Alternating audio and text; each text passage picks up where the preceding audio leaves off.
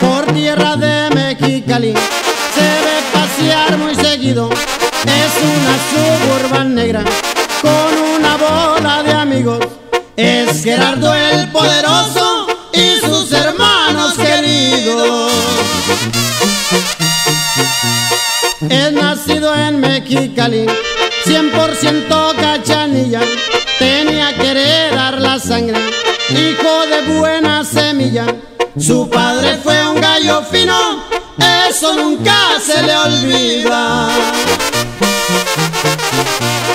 A pesar de ser muy joven, Gerardo es hombre de honor, no quiere ni lo respetan, pues le sobra el corazón. Las mujeres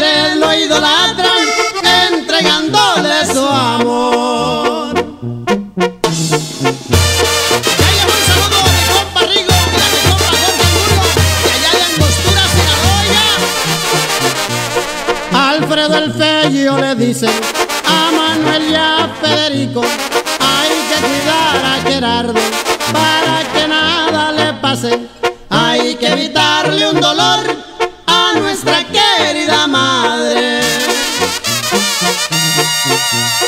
Gerardo es hombre derecho, de su ha vivido orgulloso, tiene muy buenos contactos para realizar sus negocios.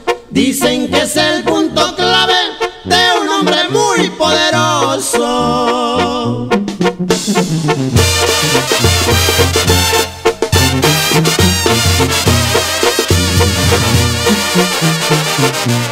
Gerardo dice a Gabriel, como es hombre de confianza, creo que tenemos problemas. Vete alistando la raza, ya sabes lo que hay que hacer con todo aquel que se raja.